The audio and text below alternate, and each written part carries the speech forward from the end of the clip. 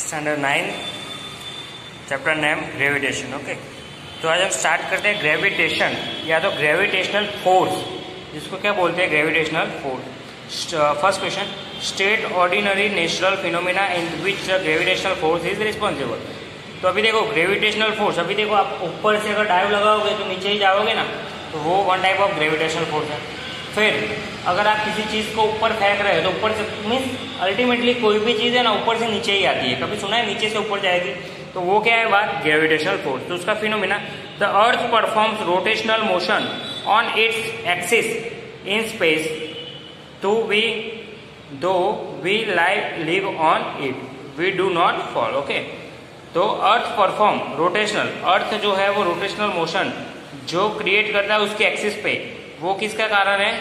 वही है। The moon perform revolution around the earth तो मून जो अर्थ के अराउंड रिवॉल्यूट होता है, वो third the earth and other planets revolve around the sun तो अर्थ एंड अदर प्लैनेट्स जो है, वो रिवॉल्व होते हैं किसके अराउंड सन के around fourth the apple detached from the from a tree fall on to the earth apple detach from a t tree fall on to the earth okay तो जो अगर ऊपर से कोई एप्पल टूटता है तो नीचे ही आता है वो।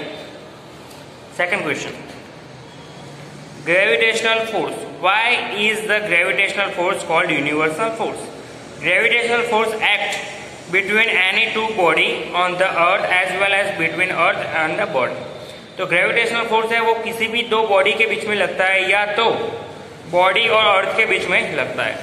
Moreover gravitational force act between earth and the sun moreover gravitational force acts between the earth and the sun the earth and the earth and the moon the sun and planets of the solar system even though they are very far from one another वो एक दूसरे से काफ़ी दूर होते हैं ना तब भी लगता है दस each and every body in the universe attract other body. This is called gravitational force. That's why gravitational force is called universe force. देखो, इस क्वेश्चन में क्या बताया? ग्रेविटेशनल फोर्स है ना, वो किसी दो बॉडी के बीच में लगता है। या तो बॉडी कोई भी बॉडी और अर्थ के बीच में लगता है, और ग्रेविटेशनल फोर्स तो अर्थ के ऊपर सन के ऊपर अर्थ और मून के ऊपर सन और प्लैनेट्स इन सब के बीच में लगता है। तो ये तो बहुत बड़ी बड़ी बात हो गई ना। तो ऐसे ही ग्रेविटेशनल फोर्स है वो ईच एंड एवरी बॉडी पे लगता है। ग्रेविटेशनल फोर्स जो है वो ईच एंड एवरी बॉडी पे लगता है। इसलिए, इसी के कारण ग्रेविटेशनल फोर्स जो है वो यूनिवर्स फोर्स है। Third question universe law of gravitation तो यूनिवर्स लॉ क्या है?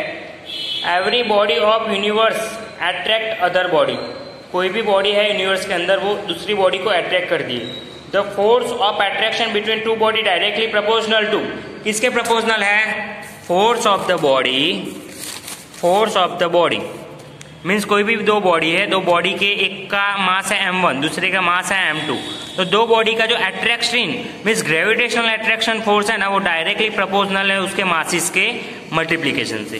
किसके प्रपोजनल है? उनका जो मास रहता है ना, वो मासिस के मल्टीप्लीकेशन के प्रपोजनल रहता है. और फ़र्स्ट क्या है? मासिस के प्रपोजनल। सेकंड क्या है?